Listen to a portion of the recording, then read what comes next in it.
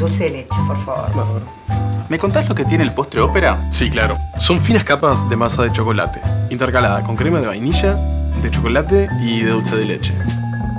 Va cubierto con un baño brillante de chocolate y terminado con rulos de chocolate amargo. Es muy rico. Quiero uno de esos. Lo mejor para el postre.